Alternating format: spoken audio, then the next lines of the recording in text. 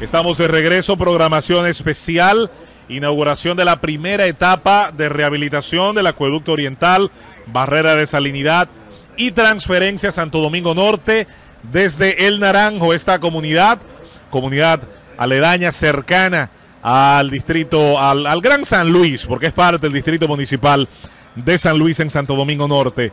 El gobierno de la mañana, gobierno de la Z101, junto a este gran equipo de comunicación y equipo técnico, estará hoy pues acompañando a la Corporación de Alcantarillado y Acueducto de Santo Domingo con la presencia del presidente de la República en esta actividad. Antes, seguimos saludando a nuestros compañeros en su breve comentario de actualidad. Los buenos días, Felipe Romero Sánchez. Gracias, José Luis Mendoza. Muy buenos días a todos mis compañeros acá en esta extraordinaria mesa de debate que hoy se traslada a la comunidad del Naranjo en lo que es la puesta en funcionamiento e inauguración de la planta de barrera de salinidad acá en esta comunidad de El Naranjo, que contribuirá significativamente al reabastecimiento de agua potable en el Gran Santo Domingo.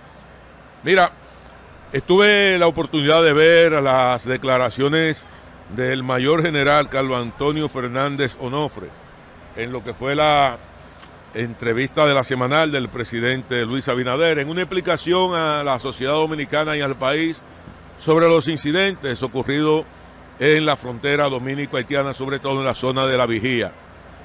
Y me da, sé que el rol tanto del presidente como del mayor general Onofre, Fernández Onofre, no es agitar.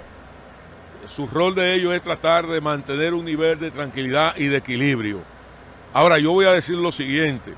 Cuando nosotros comparamos lo que fueron los videos que se presentaron la agresión innecesaria por parte de la policía haitiana en presencia de militares dominicanos, donde la propia comunidad y los propios comerciantes le exigían a los militares dominicanos actuar en defensa no solamente de la soberanía, sino proteger las vidas y las propiedades de los dominicanos que estaban en esa zona y ver cómo, cuál es la reacción que yo la justifico, porque obviamente de la voz de un comandante del ejército de la República no pueden salir posiciones estridentes, independientemente de eso. Y creo que el presidente se hizo lo correcto a través del Ministerio de Relaciones Exteriores enviando una nota diplomática.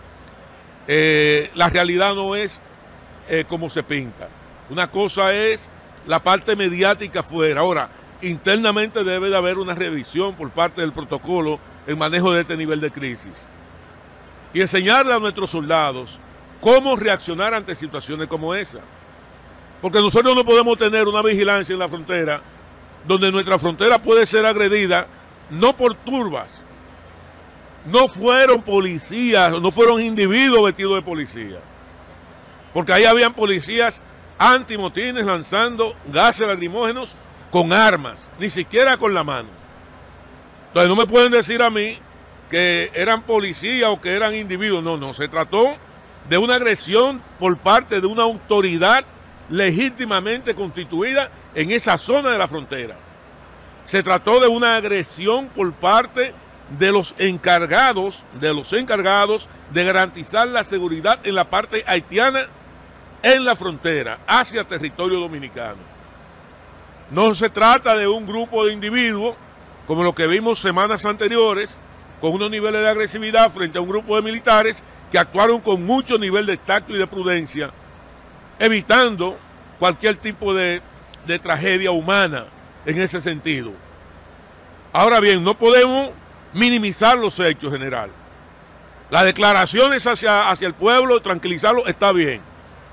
Pero nosotros tenemos que definir cuál es el protocolo que se va a utilizar cuando hay una actitud agresiva de parte de una autoridad haitiana hacia la autoridad dominicana. ¿Qué vamos a hacer? Vamos a dejar que de manera abierta y de manera agresiva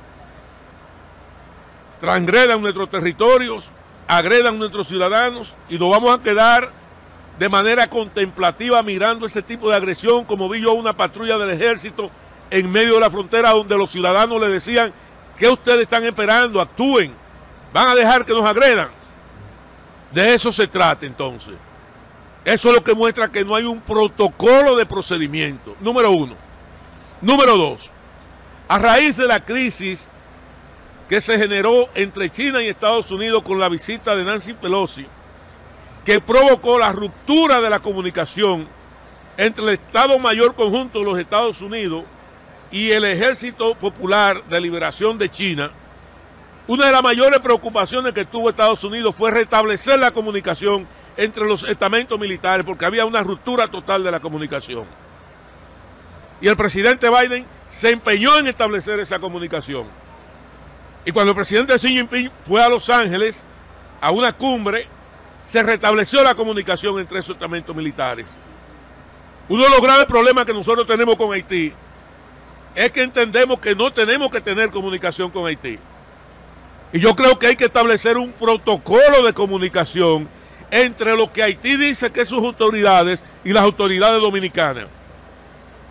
Porque no es posible que usted pueda tener dos países manejando situaciones, manejando crisis y que no haya un mecanismo de comunicación entre estamentos militares, entre estamentos policiales y sobre todo entre estamentos que tienen que ver con la diplomacia.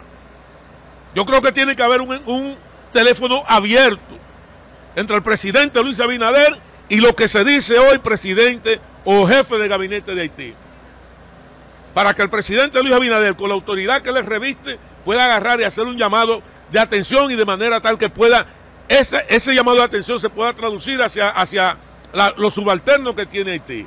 Tenemos que tener un teléfono de comunicación entre lo que se llama los mecanismos de defensa de Haití con nuestras Fuerzas Armadas. Y hay que tener un mecanismo de comunicación abierto con la policía fronteriza haitiana y la policía fronteriza dominicana.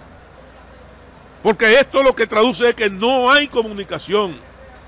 Esa agresividad por parte de la autoridad de fronteriza haitiana frente a los dominicanos, a los comerciantes dominicanos en pleno territorio dominicano, lo que indica es, que no hay un mecanismo de comunicación. Y yo creo que nosotros somos los que tenemos que tener mayor, mayor, mayor preocupación por esa situación. previa y posterior y se actúa de otra manera del lado haitiano. Y se dice, ay, yo no sabía, me enteré por la prensa. O que es. Bueno. Nos dicen una cosa en la mesa y después dicen otra cosa. Bueno, pero yo lo, yo lo que le voy a decir una cosa. O navegamos en función de los intereses haitianos, o nosotros navegamos en función de los intereses de la República Dominicana. A mí no me importa que en Haití haya o no haya autoridad, pero lo que se dice ser autoridad hay que tener comunicación con ellos para evitar una desgracia.